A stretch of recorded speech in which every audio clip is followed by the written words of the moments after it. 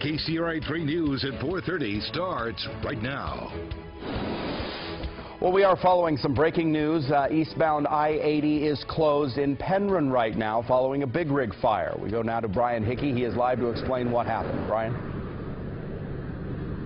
And Tail, there's the, the fires over on the right-hand side. CAL FIRE is on scene currently battling that fire right now, and you can see behind me here the backup along eastbound Interstate 80. This is right near Penryn Road, and the backup goes down the road as far as we can see here this morning with the freeway shut down. And as we swing around now, we can show you where that fire is burning here. Again, on the eastbound side of Interstate 80, the cab of the truck completely destroyed, and the uh, fire trucks are out in the lane right now, still trying to mop up the hot spots, all the while trying to keep this from spreading into the grasslands to the uh, south of this uh, incident here as well. So we don't have any condition on the driver. It does look like the truck is pulled over to the side, so we can assume at this point that the driver was able to get out uh, because of this uh, unfortunate fire here. So for now, the freeway still shut down as they uh, continue to mop up this fire here in Penryn.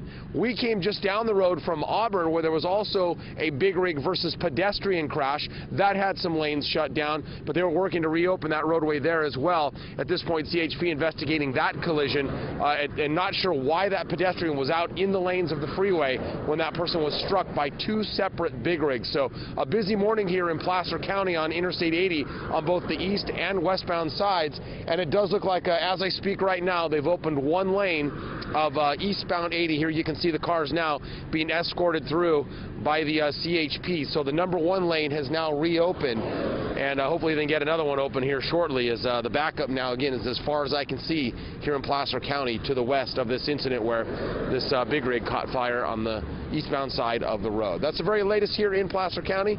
We'll try to get you updates on both of these incidents as we get them. Back to you. All right. Thank you so much, Brian, for the quick work. Appreciate it. We'll check back.